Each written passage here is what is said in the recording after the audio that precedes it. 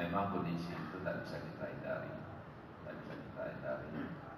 Eh, karena di mana-mana tempat provinsi khususnya bagaimana menggunakan anggaran ini sebaik mungkin. Jadi itu walaupun sudah banyak yang dipotong-potong kualitasnya akan turun dan tidak menggunakan